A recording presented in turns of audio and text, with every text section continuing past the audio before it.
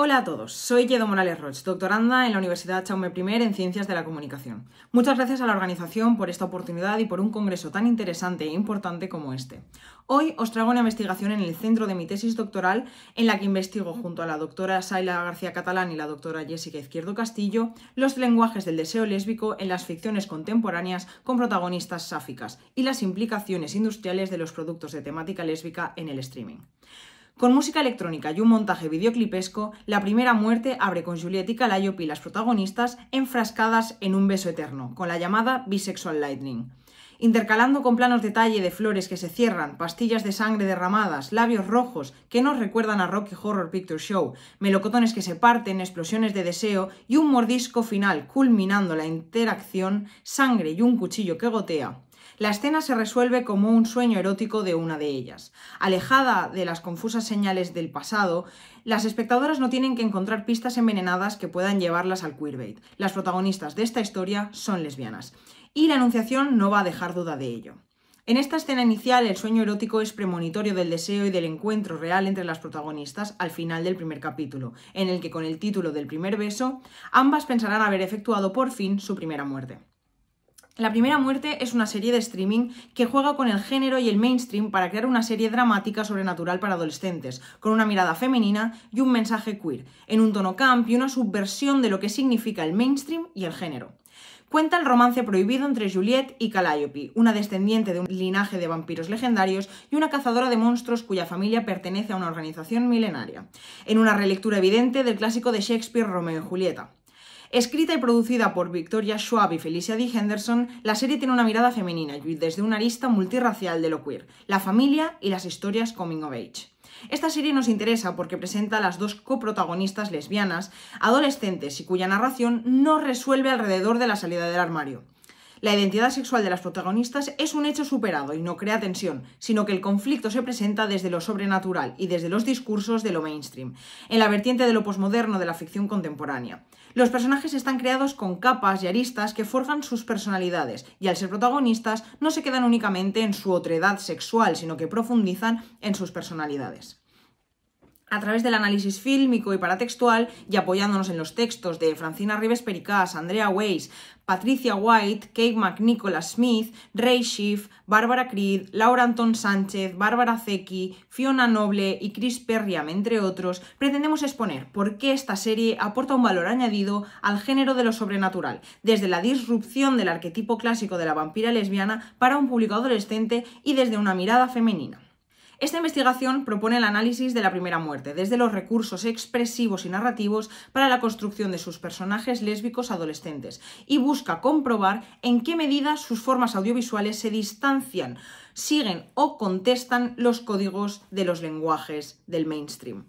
Por otra parte, analizaremos las implicaciones industriales que implica una serie dirigida y producida por un equipo queer y multirracial, desde una mirada femenina y para un público mainstream. Los objetivos principales de la investigación son analizar el lenguaje audiovisual para mostrar las estrategias discursivas de la enunciación, para posicionarse ante lo lésbico y para construir una complicidad con las audiencias, analizar cómo hereda la serie y reformula el arquetipo de la lesbiana vampiresa y estudiar las estrategias de producción, distribución y promoción de la serie. En el marco teórico haremos una historiografía de la ficción televisiva sobre lesbianas atendiendo a dos dimensiones. En primer lugar, cómo ha sido leída por la sensibilidad crítica de los estudios culturales y en segundo lugar, cómo ha ido variando su presencia televisiva desde el modelo tradicional al modelo de plataformas en streaming. En el análisis aplicado proponemos un estudio de caso a través de la metodología del análisis textual, formal y paratextual industrial. El origen de esta identidad cultural monstruo-mujer se encuentra en la hegemonía de la subjetividad masculina ha detentado en los productos culturales, es decir, en la lectura tradicional que se ha realizado de dichos productos. El protagonismo de esta perspectiva cultural ha favorecido la representación de una diferencia sexual masculino-femenino que conforma nuestra identidad sociocultural. Así la mujer y el monstruo se han identificado con la alteridad, la expresión del otro, en relación al yo masculino y de su trayecto a la forja del héroe que culmina con la adquisición de la identidad, construcción cultural sobre qué significa ser hombre, el drama resuelto característico del clasicismo o de su réplica moderna, el antihéroe. Si echamos la vista atrás, nos damos cuenta de que en la historiografía del cine el lesbianismo se ha, se ha, mostrado como un tabú, una sátira o una fantasía sexual de la mirada heteropatriarcal masculina, mayoritariamente presente de forma residual en el género del terror o en el drama erótico. En el terror se nos muestran mujeres fatales, monstruos arrolladores dispuestos a todo por destruir al hombre, protagonista de la historia, y con finales fatales, trágicos, que nos enseñan la moral cristiana de la posición deseable para la mujer, porque esa otredad que ellas representan se anuda con lo sobrenatural. Las lesbianas se han representado en el cine como vampiras en numerosos títulos. Las amantes del vampiro de Roy Ward Baker, Drácula y las mellizas de John Howe, Vampiros lesbos de Jesús Franco, Lujuria por un vampiro de Jimmy Sangster, El rojo en los labios de Harry Kummel, La novia ensangrentada de Vicente Aranda, Las vampiras de Jesús Franco, Vampires de José Ramón Larraz, Lesbian Vampire Killers de Phil Claydon, Somos la noche de Dennis Gansel y, la más contemporánea de todas, de Carmilla Movie todas ellas basadas en el libro clásico de Carmilla. La ficción vampiresca seriada han sido dirigidas a un público joven y adolescente, desde la saga cinematográfica de Crepúsculo hasta The Vampire Diaries, Buffy Cazavampiros, True Blood, en todas estas historias seriadas seguimos el romance entre un vampiro y una humana que no puede resistirse a sus encantos. En la primera muerte, sin embargo, es la vampira quien se encuentra en la posición de la humana enamorada y la humana cazadora de monstruos que se debate en su propia monstruosidad. La primera muerte es una serie con numerosas contradicciones en la narrativa y las formas de lo que atiende una estructura mainstream y camp, con una disrupción del relato clásico de Shakespeare no solo por su naturaleza sobrenatural, sino también por la homosexualidad no cuestionada de sus protagonistas. La serie se estructura desde el punto de vista de las dos protagonistas. En el primer capítulo, y siguiendo la perspectiva y vivencias de cada una, vemos que cada chica vive de partida en un género cinematográfico diferente. Juliette vive en una comedia romántica adolescente con todos los detalles de dramas de instituto y una perspectiva coming of age, los amigos, la hermana referente, las fiestas y ella no siendo como el resto. Calliope, sin embargo, vive en un thriller de acción sobrenatural, lleno de monstruos, con una vida agitada y nómada, sin amigos y con el único anclaje de una familia de cazadores de monstruos. En su construcción de personaje, además, encontramos implicaciones raciales. A Juliette se le permite ser mucho más naïve en cuanto a su alrededor, mientras Calliope es una adolescente muy consciente de sí misma y que sabe su posición en la sociedad y sus implicaciones en el mundo que la rodea. Es mucho más precavida a la hora de actuar. En las escenas de presentación de ambas se nos imprimen diferentes ante las mismas rutinas y con estructuras matriarcales en sus respectivas familias, pero con diferentes implicaciones para cada una, en lo que significa la pertinencia, la normalidad y el amor. El género adolescente y sobrenatural etiquetado como femenino, de forma peyorativa, se aborda desde el primer momento en el monólogo de presentación de Calliope. Ella lo pone en evidencia advirtiendo que la sociedad trata muy diferentemente a las chicas adolescentes y que todo lo que se hace, las hace destacar es malo desde la perspectiva patriarcal. Aparentemente, las chicas adolescentes necesitan ser protegidas. Sin embargo, ellas no necesitan protección, su feminidad está alabada y reforzada por el relato. Desde la canción del opening se menciona textualmente que la relación entre Juliet y Calliope es más profunda que la de Edward y Bella, icono pop adolescente que revolucionó a millones de fans. Esta serie tiene sus referentes claros y los utiliza y satiriza, reconociendo sin embargo que lo que la sociedad señala como cosas de chicas, de adolescentes, también tiene una implicación importante a la hora de identificarse y autodeterminarse en la adolescencia, no solo como persona queer, sino también como persona racializada. El deseado primer beso llega a mitad del capítulo, desde la perspectiva de Juliette. En la fiesta están jugando a la botella. Ben lo amaña para que Juliette pueda meterse en la despensa con Calliope, actuando de aliado y trampolín. Desde la escena de presentación de Ben como el mejor amigo gay de toda la vida y el lugar seguro para Juliette en lo que a su realidad queer se refiere, es el amigo gay, que normalmente sería el protagonista del relato, el que legitima desde un papel de reparto y ayuda a la normalización del deseo de Juliette.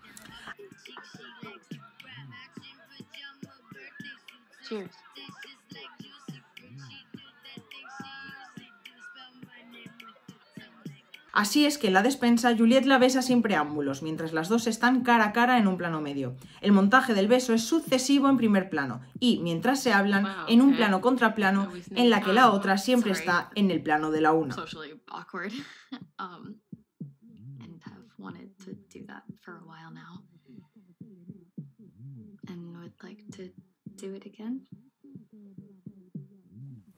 Se besan en primerísimo primer plano, tan áptico que la espectadora puede sentirlo, mientras suena Slumber Party, y el montaje intercala el primerísimo primer plano del beso y el plano detalle de sus manos. Slumber Party es una canción muy teenager con connotaciones sexuales lésbicas explícitas, le hice un cunilingus a tu novia en el sofá, y representa el tipo de diversión adolescente y sexual que busca Juliet en su interacción. Entonces la música cambia y encontramos una marca enunciativa que implica un cambio de seriedad en el tono enunciativo.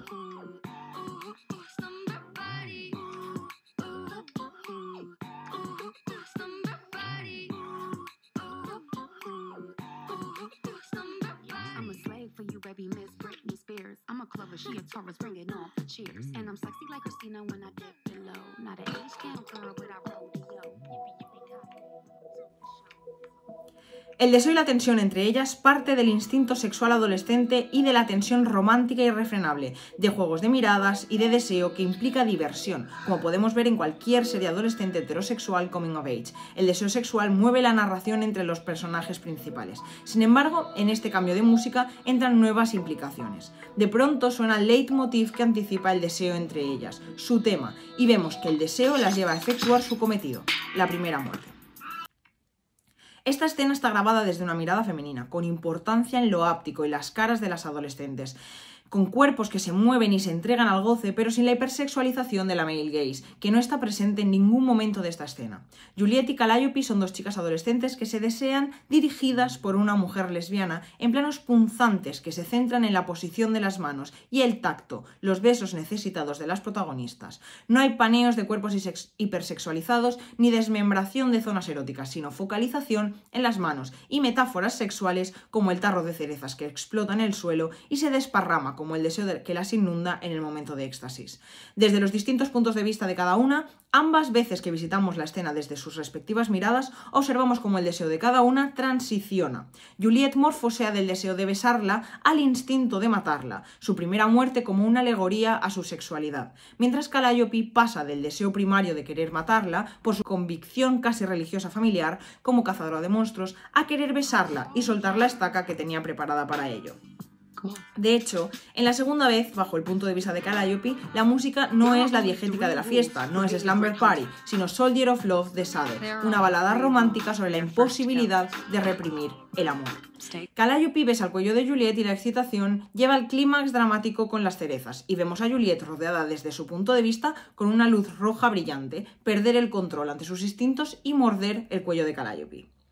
Como bien apunta Margot, la madre de Juliet con anterioridad, si no efectúa su primera muerte, la sed de sangre y el instinto se apoderarán de ella, porque día que se niega a controlar sus instintos, más cerca está su instinto de controlarla a ella. Los instintos vampíricos siempre se han asociado con el apetito sexual, y es aquí su deseo por Calliope que la ciega en su razón y deja su instinto a la luz, finalmente mordiéndola en el cuello, rodeada de esa luz roja que inunda la imagen, cada vez que los instintos se apoderan de ella y las pastillas rojas dejan de funcionar. Como toda acción tiene su reacción, cuando revisitamos la escena al final del capítulo, desde el punto de vista de Calliope, vemos que saca la estaca y apuñala a Juliet en el corazón.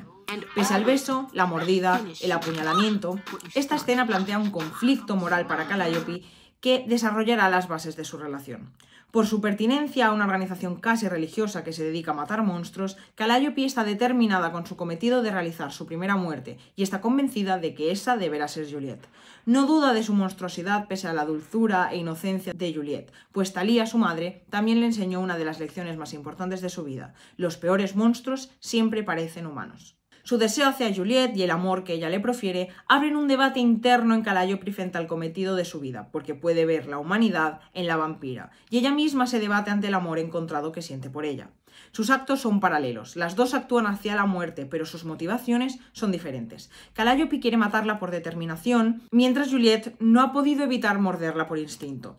Este conflicto pone a Calliope ante el espejo y se da cuenta de que ella misma podría ser el monstruo, la villana, de la historia de los monstruos a los que su familia asesina. Ese beso significa el derribo de todo por lo que siempre ha querido luchar. Muchas gracias por la atención y nos vemos. Hasta luego.